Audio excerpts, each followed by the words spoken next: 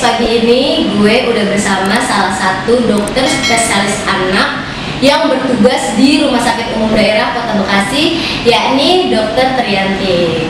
Nanti kita akan berbincang tentang penyakit pasca banjir yang menimpa anak-anak dan cara penanggulangannya. So, simak terus Rujuk Channel.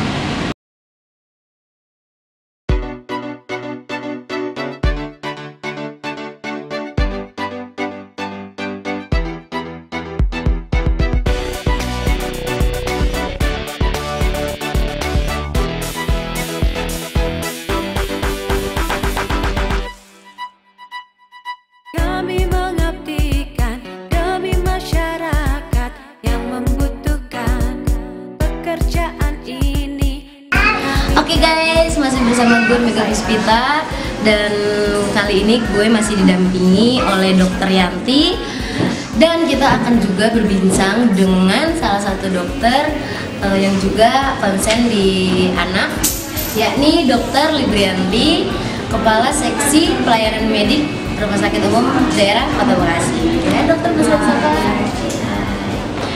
Oke, eh, ini kan kita lagi ada di poli anak ya. Bisa dijelasin nggak ada fasilitas apa aja sih di sini yang bisa diberikan ke masyarakat? Oke, di sini uh, poli eksekutif khususnya dan kita juga ada layanan subspesialis di dalamnya. Kita mulai dari mulai pendaftaran, kasir, semuanya oleh di sini ada farmasi dan ruang juga kita fasilitasi dengan adanya ruang tempat bermain anak supaya merasa nyaman untuk selama menunggu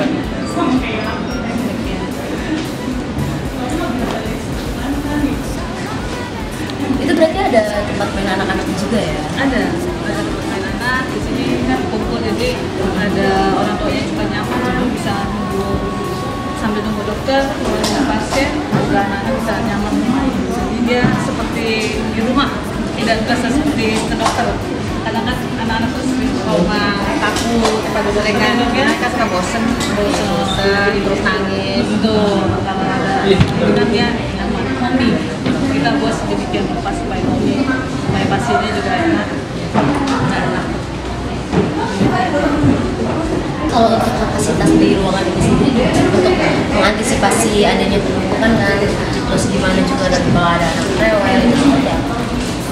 Kalau di sini sih kita ya berjalan memang eksekutif, memang untuk pasien lebih terbagi. Jadi ada polinya reguler di sana. Ini memang eksekutif bagi pasien-pasien yang memang mau secara eh, pribadi dan eh, atau dia juga ingin bertemu sama dokter spesialis yang memang sudah untuk berfokus pada persalinan atau dokter yang rutin. Dokter Yanti, spesialis jantung anak, dokter Nona juga, eh, dokter spesialis eh, saraf anak, ada dokter Thomas Thomas, dokter dokter Charles, dokter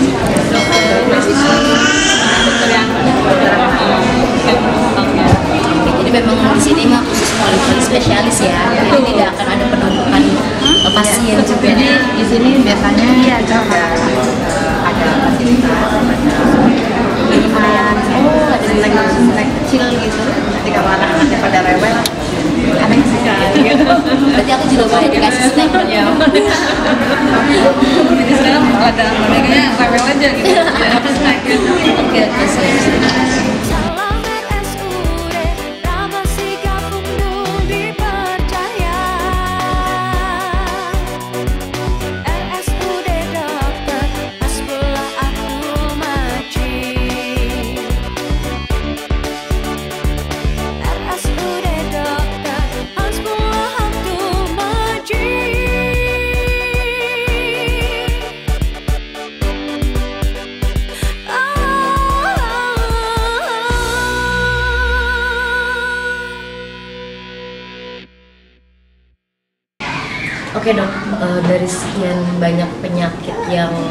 berpotensi menyerang anak-anak pasca banjir, tapi eh, sebelum orang tua itu melarikan anaknya ke rumah sakit gitu, kira-kira ada pertolongan pertama apa gitu yang bisa diberikan oleh orang tua kepada anaknya sebelum melarikan ke rumah sakit? Iya, ini pertanyaan yang eh, sangat penting ya kalau Iya. menurut saya ya untuk diketahui oleh masyarakat umum.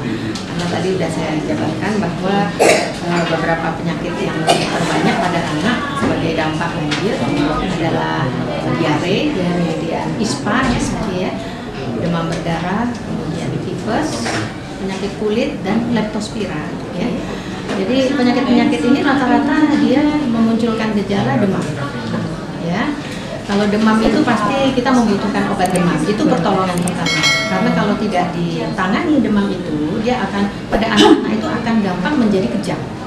Itu yang kita takutkan.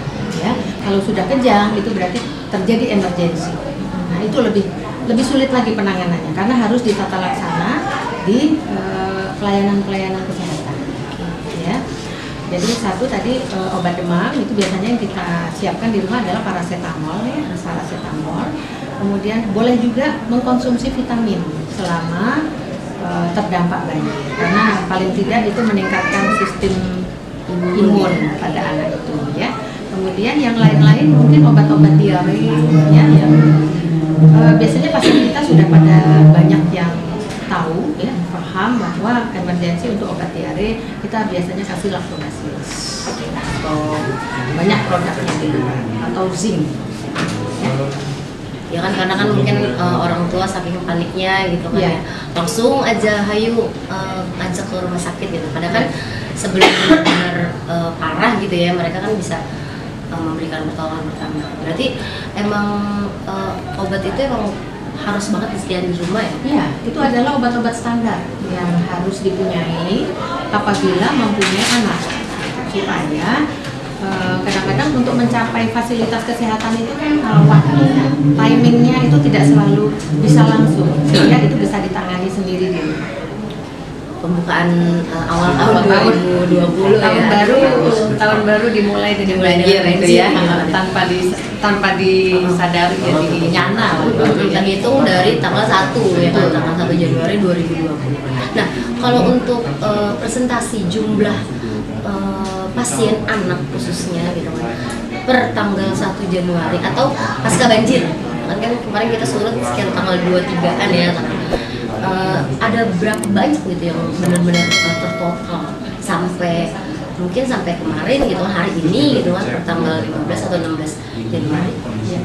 Eh, untuk di RSUD Dr. Casbula sendiri mungkin merupakan rumah sakit yang paling banyak dituju oleh masyarakat di Kota Bekasi ya. Eh, untuk pasien-pasien ini yang terutama banyak kasusnya adalah kasus-kasus diare, ya, diare, demam berdarah, tifus dan ispa. Ya, kalau dari data kami dari tanggal setelah tanggal 3 itu ya biasanya kan mereka akan ke rumah sakit setelah kondisi mereka stabil Iya. di pengungsian atau di rumah mereka ya itu baru terasa kemudian datang ke rumah sakit terjadi peningkatan di poli rawat jalan memang itu biasanya kami di sini setiap hari itu eh, sekitar 75 pasien itu bisa meningkat sampai 100 pasien per hari per hari. Khusus anak aja khusus anak saja. Dan ini belum terhitung yang pasien yang dirawat. Pasien dirawat itu malah lebih kita bisa lebih tahu datanya karena kita eh, punya data berapa yang diare berapa yang eh, ispa sampai saat ini dirawat itu kami hitung rata-rata 20 sekitar 20-25 persen dari keseluruhan total pasien yang kami rawat di bangsal anak itu adalah penyakit-penyakit akibat terdampak banjir dan memang setelah kami data eh, alamat mereka dan kita wawancara ternyata mereka memang eh, kebanjiran. oh memang Ya. keluarga yang eh, berada di titik-titik rawan banjir di Kota Bekasi Iya, kalau di Bangsal itu kita rata-rata menerima pasien itu sekitar per hari itu sekitar 60 sampai 70 yang dirawat. Jadi dari sekian jumlahnya 20% itu pasien yang terdampak banjir dengan penyakit-penyakit yang tadi saya. Nanti nanti kita bisa lihat. banyak juga ya kalau misalkan sehari rata-rata maksimal 100 gitu kan ini udah berjalan sekitar 15 hari Iya. udah seribuan lebih kan ya kalau jalan jalan ya Iya, tapi yang terdampak banjir kan sekitar 20 25 persen ya dari.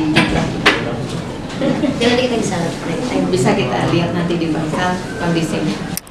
Oke guys, itu dia tadi kita udah berbincang banyak bersama Dokter Trianti mengenai eh, penyakit-penyakit anak yang menimpa pasca banjir. Ya dok ya, udah, udah banyak banget penjabarannya. So eh, kita akhirin sampai di sini perbincangan gue dengan eh, Dokter Yanti dan dok boleh ke teman-teman eh, rujuk di mana pun mereka berada untuk jangan lupa di subscribe, like, comment, and share sebanyak-banyaknya Rukun Jurnalis Bekasi Channel. channel. Oke, bye bye. Dadah. Assalamualaikum warahmatullahi wabarakatuh.